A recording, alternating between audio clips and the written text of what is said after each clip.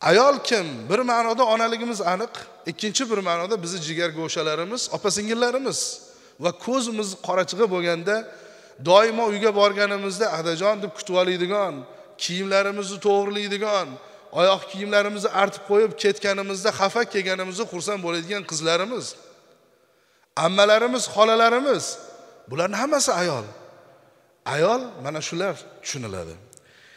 insoniyatni zalolatdan hidoyatga olib chiqqan islom dinimiz ayollarga ham erkaklar singari huquqlarni berdi va ayollarga chiroyli muomala qilishga buyurdi jumladan alloh taolo shundoq deydi audu billahi minash shaytonir rojim وعاشروهن بالمعروف فإن كرهتموهن فعسى أن تكرهوا شيئا ويجعل الله فيه خيرا كثيرا صدق الله العظيم niso surasining 19 oyatida ular bilan totuv turmush kechiringiz agar ularni yomon ko'rsalaringiz bilib qo'yingki balkim sizlar yomon ko'rgan narsada olloh sizlar uchun ko'pgina yaxshilik paydo qilishi mumkin deydi bir ma'noda demak ayol bizni jufti halolimiz alloh taolo aytyapti ey bandam jufti haloling bilan chiroyli muomala qilib hayot kechir.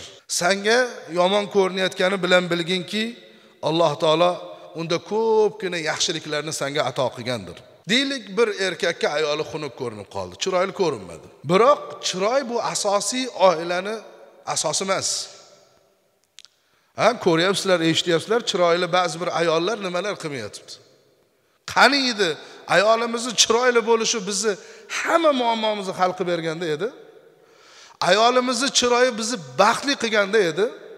Ayolimizni chiroyi bizni boy qilib yuborib ishlarimizni o'xshatib yuborganda bu dunyoda faqat chiroylisini izlab qolardik. Innalloha la yanduru ila suvarikum va la ajsamikum valakin yanduru ila qulubikum. Payg'ambar sollallohu alayhi vasallam dedilarki alloh taolo chiroyga qaramaydi qalbga qaraydi ya'ni qalbni pokligi qalb pokligi deganda bir karra aytib ketaman ana ba'zilar aytadiku bizni qalbimiz pok bo'ldi deydi man uni aytmayapman. Qalbing pok bo'lsa zohiringga chiqsin. Ko'rsatib qo'y. Musulmon odam namoz o'qishi bilan musulmonligini belgisi bo'ladi. Yilda bir marta ro'za tutishi bilan musulmon belgisi bo'ladi. Qalbimizni pokligi zohirga chiqishi kerak. Qalbi pok inson bo'lsada yarim yalang'och bo'lsa qalbi pok bo'lsada o'zi harom ish qilib yursa uni qanday bo'lsa qalbi?